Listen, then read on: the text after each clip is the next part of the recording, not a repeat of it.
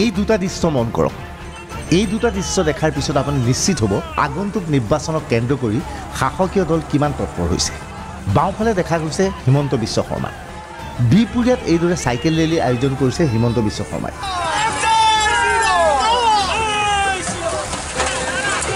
আৰু সোঁহাতে দেখা গৈছে অতুল বৰা। অসম গণ পৰিষদে অভয়াপুৰীত এইদৰে বাইক ৰেলী আয়োজন কৰিছে।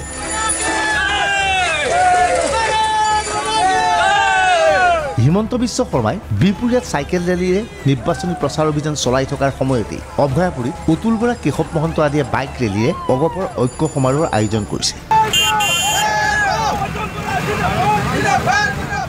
ধেমাজিৰ পিছত বিহপুৰীয়াত হিমন্ত বিশ্বৰ চাইকেল ৰেলী। দ্বিতীয় দিনাও দেখা গ'ল হিমন্ত বিশ্বৰ জনপ্ৰিয়তা। হিমন্ত বিশ্বৰ চাইকেল ৰেলীত হাজাৰ হাজাৰ লোক। হিমন্ত বিশ্ব শৰ্মাৰ এই চাইকেল ৰেলীলৈ মন কৰক। সন্মুখত চাইকেল চলাই আহিছে হিমন্ত বিশ্ব শৰ্মা। লগে লগে অজস্ৰ সমৰ্থক।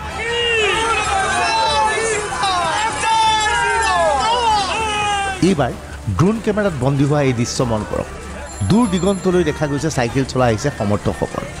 বিহপুৰীয়াত এইদৰে এক দীঘলীয়া পথত চাইকেল চলাই কাৰ্যত হিমন্ত বিশ্ব শৰ্মাই বিজেপিৰ হৈ নিৰ্বাচনী প্ৰচাৰ চলালে।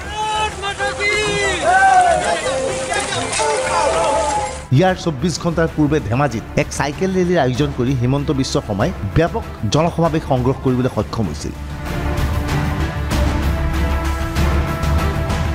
তাৰেই পুনৰাবৃত্তি মঙলবাৰে সংঘটিত হ'ল বিহপুৰীয়াত। ৰেলী আৰম্ভ হোৱাৰ সময়তে বৰষুণ। বৰষুণত থমকি নৰল হিমন্ত বিশ্ব শৰ্মা। বৰষুণৰ মাজতো চাইকেল ৰেলী। বৰষুণৰ মাজতেই হিমন্ত বিশ্ব শৰ্মাক আদৰিবলৈ ৰাজপথত আবাল বৃদ্ধ বনিতা।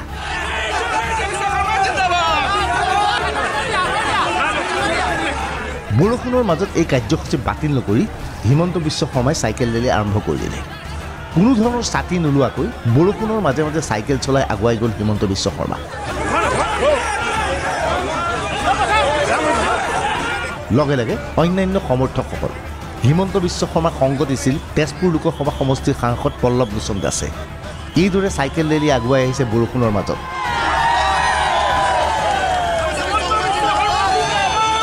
এইবাৰ পথৰ কাষৰ এই দৃশ্য মন কৰক। পথৰ কাষত এইদৰে একাংশ মহিলা ৰৈ আছে। হাতত গামোচা ফুল চাকি ইত্যাদি। দেৱতাৰ দৰে হিমন্ত বিশ্ব শৰ্মাক আদৰণি জনাইছে। কোনোবাই গামোচা পিন্ধাইছে কোনোবাই চাকি জ্বলাইছে কোনোবাই ফুল ছটিয়াইছে। ধেমাজিৰ পিছত এইদৰে হিমন্ত বিশ্ব শৰ্মাক বিহপুৰীয়াতো আদৰণি জনালে স্থানীয় লোকে।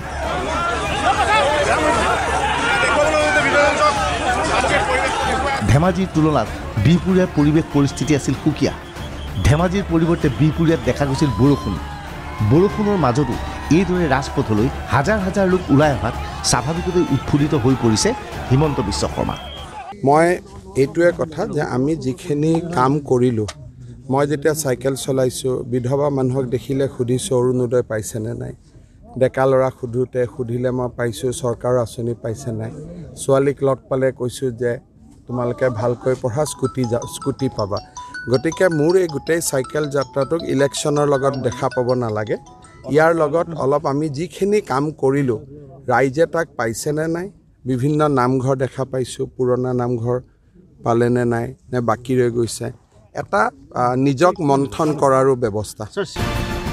বিহপুৰীয়াৰ এই চাইকেল ৰেলীৰ অন্তত হিমন্ত বিশ্ব শৰ্মা ইমানেই ব্যস্ত হৈ পৰিছিল যে তেওঁ দুপৰীয়াৰ আহাৰ ল'বলৈ সময় পোৱা নাছিল। থিয় থিয় এইদৰে আহাৰ গ্ৰহণ কৰিছিল হিমন্ত বিশ্ব শৰ্মাই।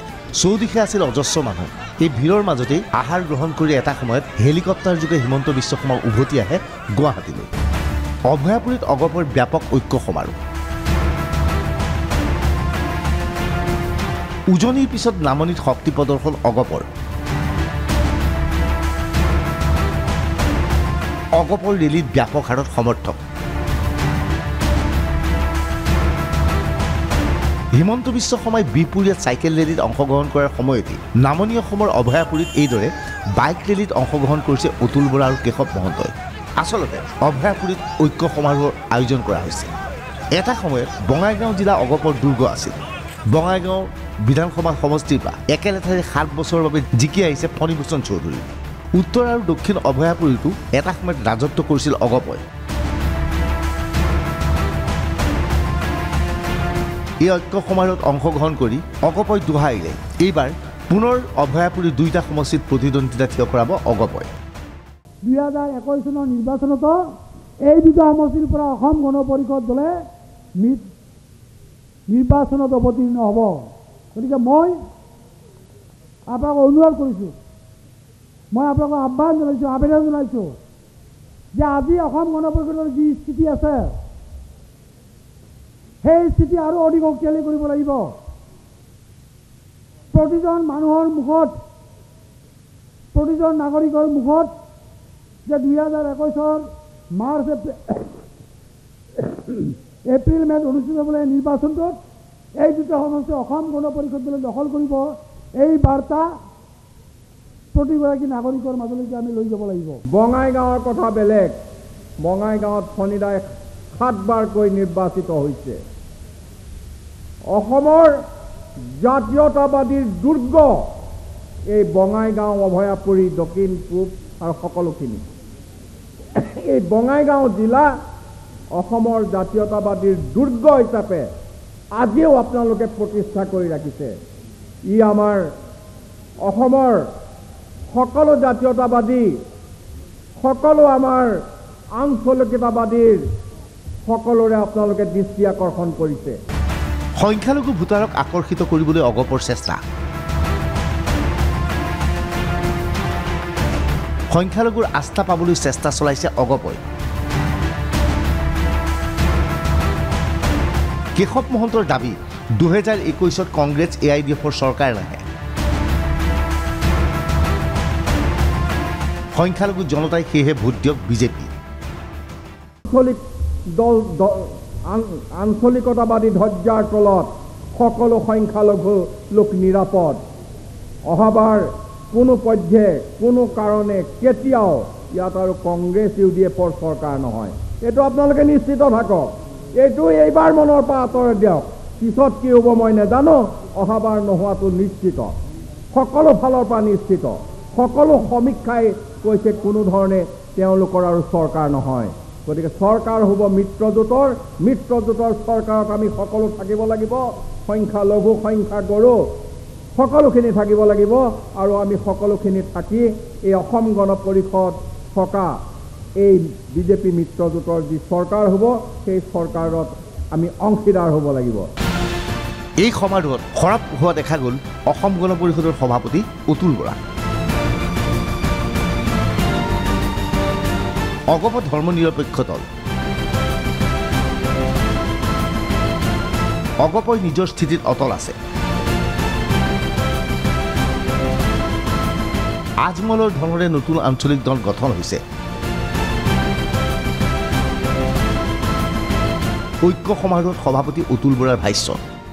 অসম গণ পৰিষদ দল এটা ধৰ্ম নিৰপেক্ষ দল এটা সাৰ্বজনীন দল আৰু সেই যিটো চৰিত্ৰ ধৰ্ম নিৰপেক্ষ চৰিত্ৰ এই ধৰ্ম নিৰপেক্ষ চৰিত্ৰত আমি আঁচোৰ লাগিবলৈ আমি নিদিওঁ নিদিওঁ আৰু নিদিওঁ ৰাইজে আমাৰ ওপৰত বিশ্বাস ৰাখক। আৰু সেইবাবে অসম গণ পৰিষদ দলে শেহতীয়াভাৱে জোৰকৈ এই কথাখিনি ৰাইজৰ মাজলৈ লৈ যাব বিচাৰিছে যে অসম গণ পৰিষদ দলে প্ৰগতিশীল ধ্যান ধাৰণাৰে প্ৰগতিশীল জাতীয়তাবাদৰ মহামন্ত্ৰে আগবাঢ়ি যাবলৈ বিচাৰিছে য'ত হিন্দু মুছলমান জৈন খ্ৰীষ্টিয়ান বড়ো ৰাভা কছাৰী মিচিং কোচ ৰাজবংশী বংগভাষী হিন্দী ভাষী সকলোৰে সমমৰ্যাদা থাকিব।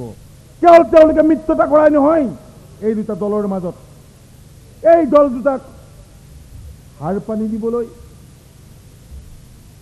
আৰু মিত্ৰজোঁটত শাসকীয় মিত্ৰজোঁটত মিত্ৰজোঁটক দুৰ্বল কৰিবৰ কাৰণে আৰু বিশেষকৈ অসম গণ পৰিষদক দুৰ্বল কৰিবৰ কাৰণে অসম গণ পৰিষদ দলক বদনাম দি নতুন নতুন কেতবোৰ আঞ্চলিক ৰাজনৈতিক দলৰ সৃষ্টি কৰিছে। আঞ্চলিক ৰাজনৈতিক দলৰ সৃষ্টি কৰিছে। আৰু বদৰুদ্দিন আজমল চাহাবে নিজে কৈছে আপোনালোকে শুনিছে মুকলিকে কৈছে লুকাই চুৰ কৰি কোৱা নাই। যে এই নতুন দলবোৰ খুলিবৰ কাৰণে মই পইচা দিব লাগে। গতিকে কি লুকাই থাকিল কথা? উজনিৰ পিছত নামনিৰ এই সভাটো অগপয় লাভ কৰিলে ব্যাপক সঁহাৰি স্বাভাৱিকতে ইয়াত উৎফুল্লিত হৈ পৰিছে অসম গণ পৰিষদৰ নেতৃত্ব। বুধবাৰে এনেধৰণৰ ঐক্য সমাৰোহৰ পুনৰ আয়োজন কৰা হৈছে ডেৰগাঁৱত সেই সমাৰোহতো অতুল বৰা কেশৱ মহন্তকে ধৰি দলৰ নেতৃত্ব উপস্থিত থাকিব। মঙলবাৰ অভয়াপুৰ সভাখনত দেখা গৈছিল কল্পনা পাটোৱাৰী। কল্পনা পাটোৱাৰীয়ে অনুষ্ঠানত গীত পৰিৱেশন কৰি দৰ্শকক আকৰ্ষিত কৰিবলৈ চেষ্টা চলাইছিল।